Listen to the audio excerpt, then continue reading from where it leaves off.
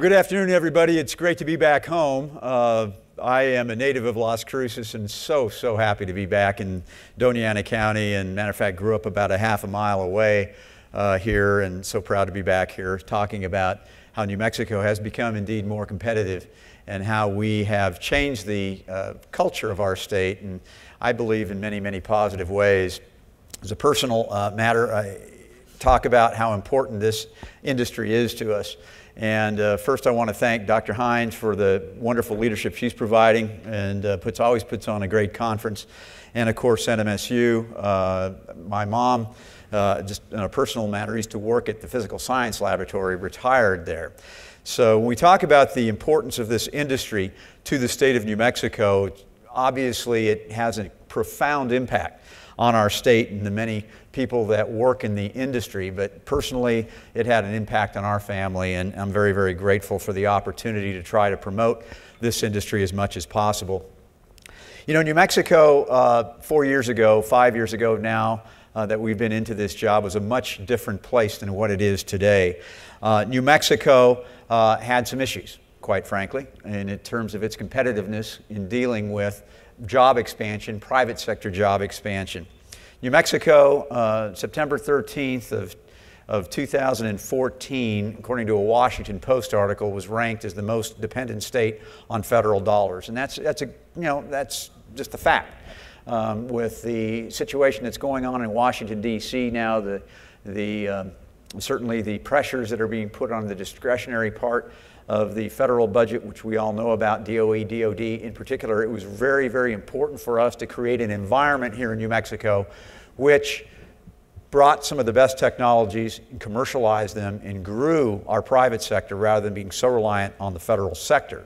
Make no mistake about it, we do need these installations not only from a national security standpoint, we will always try to fight for what we have uh, here in New Mexico in terms of those assets. But what has New Mexico done to make itself more competitive and more business friendly? Well, five years ago, we inherited one of the largest structural deficits, the largest structural deficit in our state's history, a half a billion dollars, almost 10% of our state's budget.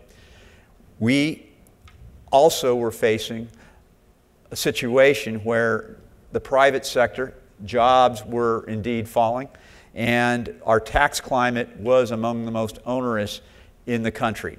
According to one publication, we were ranked 51st in the entire nation in terms of tax competitiveness behind the District of Columbia. It was obvious to us that we needed to do something to make New Mexico a much more inviting place for private investment and how we could commercialize some of these best ideas that were emanating from our national labs and institutions of higher learning. And so we embarked upon a program to make New Mexico more competitive and certainly more friendly to private sector investors. How did we do it? Well, we did a number of things.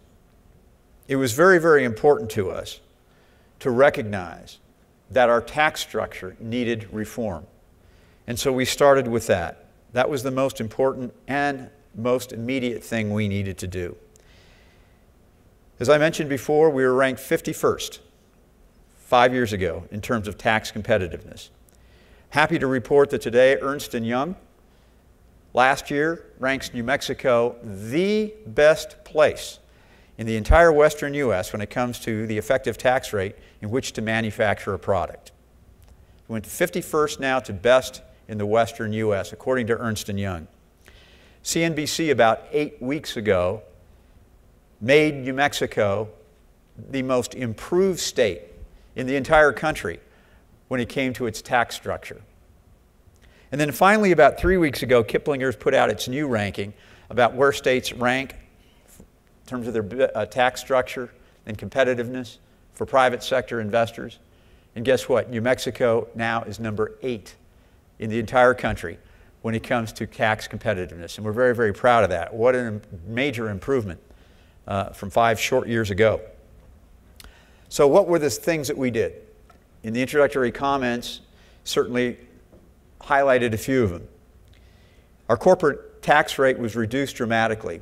It was ranked among the highest in the country.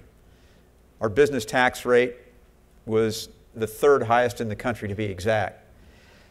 We reduced those overall. Second, for those who manufacture a product in New Mexico, as we phase in this new law, what's called the single sales factor, you will only be taxed on those sales made within New Mexico. Essentially, so if you're exporting 99% of your product or all of it, you basically have no corporate income tax liability here in New Mexico if you're manufacturing a product and selling most of that product abroad. Third thing we did, we eliminated the GRT for businesses that are involved in aviation and aerospace related maintenance services. That has been eliminated, our GRT. Number four, just passed and just signed into law by Governor Martinez.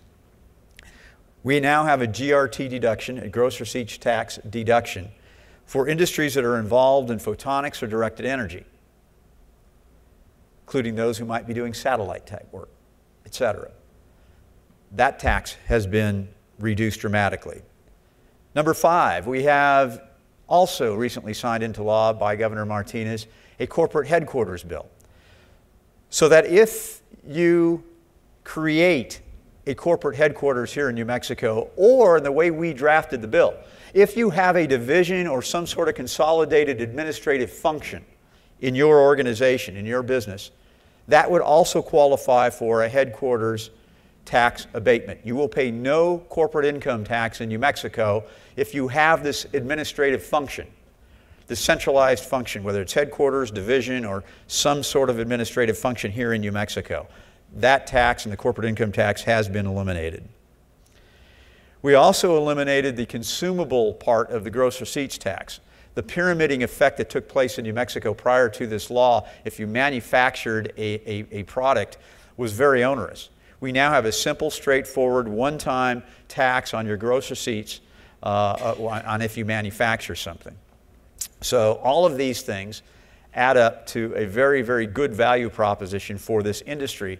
And clearly, the aviation and aerospace industry is a focal and target point for our state and for our state's economic development plan.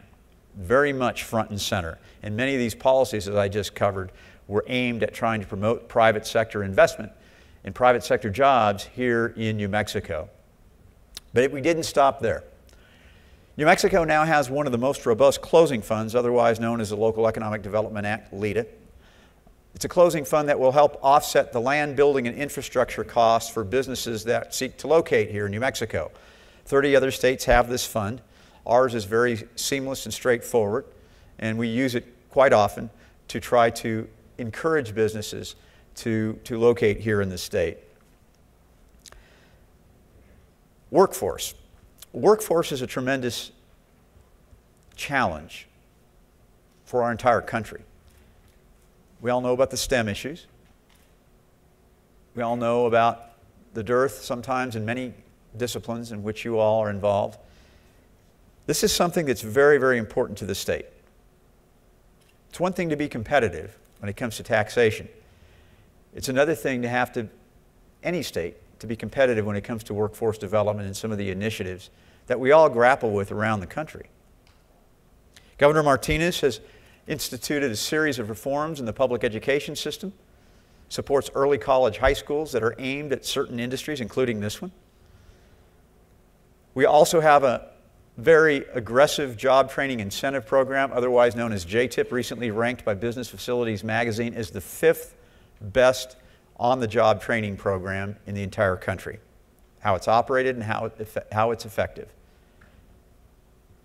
We reimburse up to 75% of the first six months' wages for an employee that is involved in manufacturing something or exporting 50% or more of its services. Doesn't matter if you're hiring one person or a thousand persons, you are eligible for this JTIP program if you are a company that fits into that criteria. All you got to do is hire a, somebody that's been in New Mexico for at least one year of their life or have graduated from a New Mexico school, post secondary school, or institution of higher learning. That program is available as well. And Governor Martinez finally is looking at this upcoming session. We don't have the details set yet on further, furthering a customized training for industries like the aviation and aerospace industry.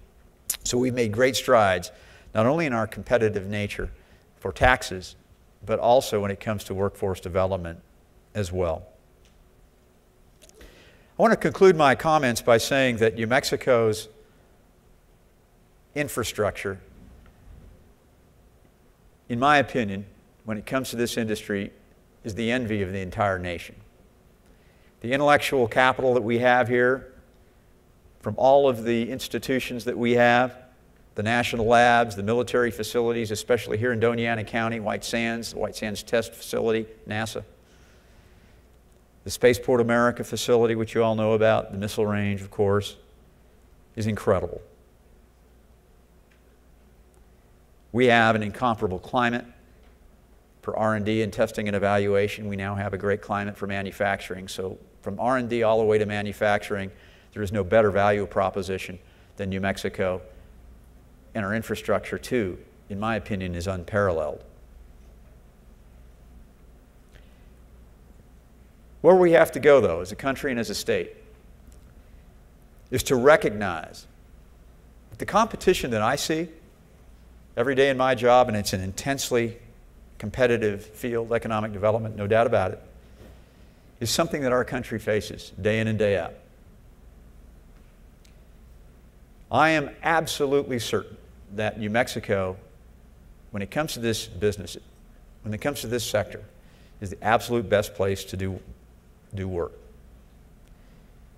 We need to get our message out there. We need to promote ourselves. And we need to remind everybody that whatever success we've had in policy changes in this state, it's been done. And I emphasize this, and I know Governor Martinez would agree with this, it's been done in a bipartisan manner. These changes have been done because people have come together as a state, Republican and Democrat, to make these changes a success. And as we move forward with our efforts to diversify this economy, I'll never forget nor will any of us should forget the rich history that New Mexico's had in this aviation and aerospace industry. Whether it's Goddard or von Braun or certainly the wonderful advances that have been done by NASA here, we need to continue that legacy. We believe that we as a state are primed to continue that legacy so that not only others can benefit, but in fact, future generations will benefit as well.